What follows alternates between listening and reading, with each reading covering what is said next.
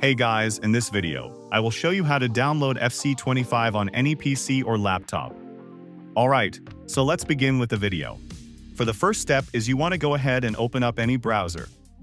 Then you want to simply click on the search bar, and you want to type out Steam. Then you want to go ahead and you typed out Steam. All you now want to simply do is click on the first link. Once you go ahead and you click on the first link, all you want to do is you want to simply click on Install Steam. Then once you go ahead and you click on Install Steam, you want to simply click on this blue button just here, which will be Install Steam, and it will simply download Steam. Then once you go ahead and you download install your Steam, all you now want to do is you want to follow each and every step that I do. So make sure that you click on the search bar. Then you want to type out FC25. Then you want to click on FC25. Now as you can see, this is the game. So what you want to now do is you just want to scroll a bit down. Then you want to click on Add to Cart. And then you want to simply click on View My Cart.